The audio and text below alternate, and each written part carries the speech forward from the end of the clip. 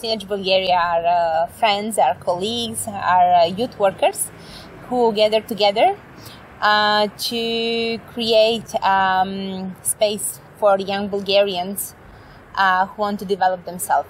We mostly focus on self development and coaching. We focus on uh, Erasmus Plus.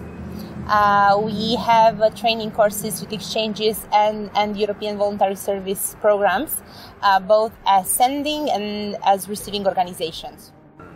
Now, this moment, we are seven persons.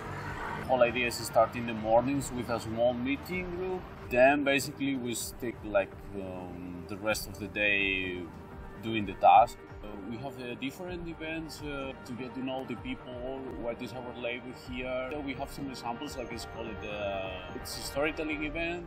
As we invite some people there, we look for some places and we find some adventurous people that uh, they want to share like experience that they have.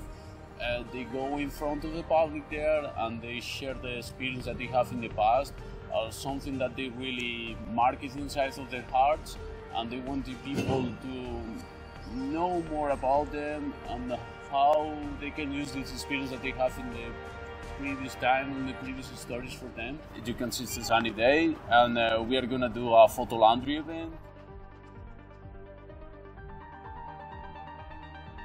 The idea of photo laundry um, appeared in our team as we borrow it, let's say.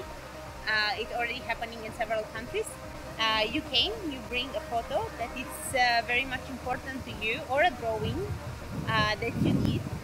And on the back, you write a message.